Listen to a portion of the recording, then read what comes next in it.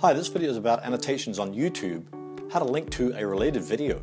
The number one factor for ranking videos on YouTube is the amount of time people spend watching the videos on your channel. With annotations, you can direct them to a related video or a series of related videos at the end of the one that they've just watched. Herman Drost, DrostDesigns.com. Here's how to link to a related video using a spotlight annotation. First of all, find the video that you want to link to. So in this case, I'm selecting this how to make a subscribe button on YouTube using annotations. So you can grab the watch URL or the playlist URL if it's in a playlist. I prefer the playlist so people can watch more of your videos on YouTube, which YouTube likes. So I'm going to click this one, and here's the URL for the playlist. Now you copy that, put it into Notepad. Here I've got a Notepad. Here's the watch URL in case you want to use that one. Now we're going to create the actual annotation. So log into YouTube account, click profile image, click Creator Studio, click Video Manager, select the video that you wish to annotate, click Edit, click Annotations.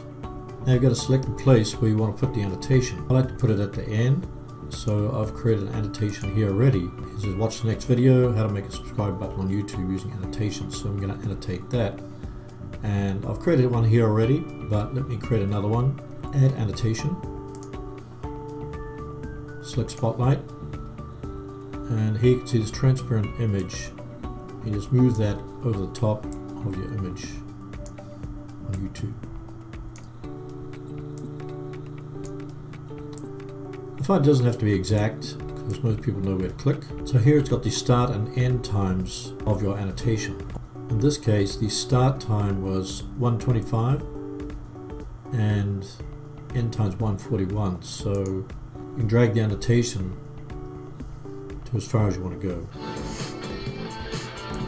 So I've got it fading out, so I want to shorten it 141. So it's going to fade out. If I play it, it fades out at the right time. Click link. Now here you can put uh, you can select playlist. I'm going to select the playlist URL, stick it in there, and it jumps to video. Start link video at 00. So this will be starting right at the beginning of the video. The tutorial actually starts at 028. The viewer doesn't have to watch the whole introduction. So now I'm going to go back to my annotations and says start the linked video at I'm going to put 28 seconds here. And this box says open link in a new window, which means it'll close the window that the viewer is currently on and open it in a new one. If you want the viewer to seamlessly watch the next video, leave that box unchecked. Now if you made a mistake, you can simply highlight the annotation and just click the trash box. I'll trash it. So here I've got my annotation for the related video. If you want to lengthen the timeline here to get it more detailed, you can just move the slider here. See how it expands the timeline? Let's check the video. Click the link at the top here. Let's go to the end of the video.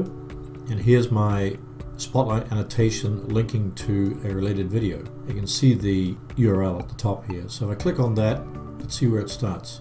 So how can you grab the attention of your viewers so they can subscribe to your channel? So this video skips the introduction and goes straight to the actual tutorial. That's it.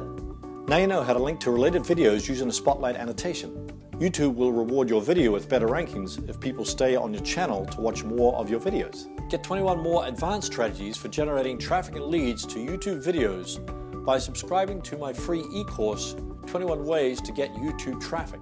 Click the link in the description below this video. Thanks for watching.